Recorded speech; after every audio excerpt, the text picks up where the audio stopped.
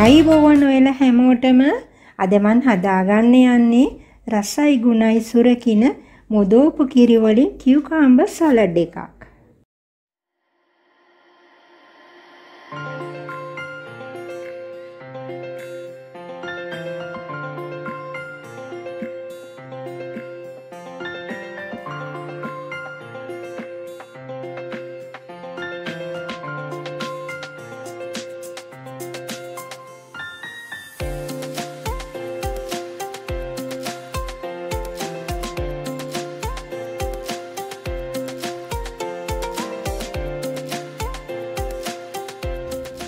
මං අරගෙන තියෙනවා මින්ට් ග්‍රෑම් 10ක් මිංචි කොළ.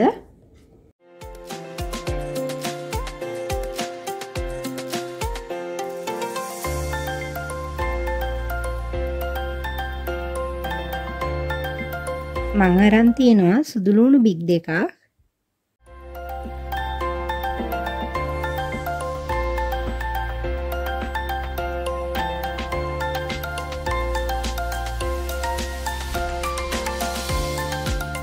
කර්ඩ් අරන් තියෙනවා ග්‍රෑම් හාරසිය පණහක් මොදෝපු කිරි.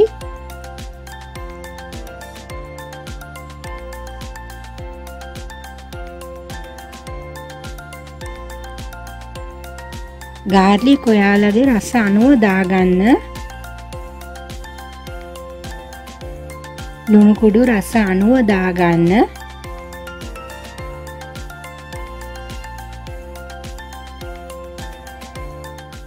මන විනාඩි දෙකින් සලඩ් එක හදලා ඉවරයි.